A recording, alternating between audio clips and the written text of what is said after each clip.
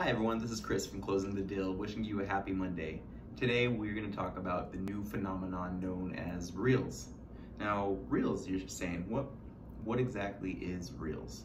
Well, Reels is Facebook and Instagram's new iteration of TikTok. It allows your viewers to watch 15 second clips of engaging material that you produce. Creating a reel is incredibly user-friendly. To do so, all you need to do is navigate to the top left icon of your Instagram there'll be an option that says your story.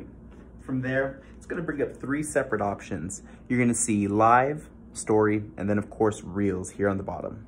Let's tap that. From there, it gives us four different options. We have audio, speed, effects, and timer. Pretty self-explanatory, but just wanna give a rundown. Here on audio, you can add in songs, any of the popular ones that are currently trending. You can go in here to speed so that you can slow it down or speed up your recording.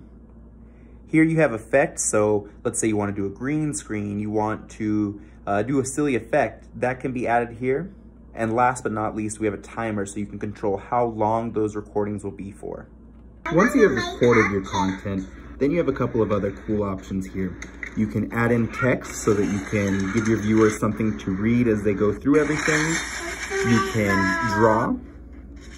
You can add in stickers and make it a little bit more interactive. And then of course you can save a draft. After we've added in the text, we've gone through, finished our editing. Now we're ready to post this to Reels. Simply tap the check button, tap the forward button, confirm, add in your favorite caption. Be sure to hashtag.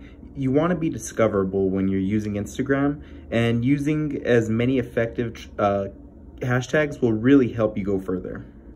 Once you finish hashtagging and posting your video, now it's time to let Instagram do its magic, let Reels work in ways that you've never seen.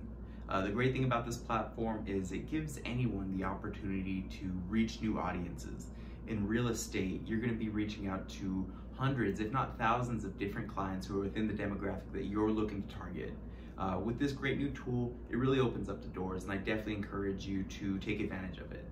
I want to thank you so much for tuning in to Closing the Deal today. I hope all of you have a wonderful rest of your day.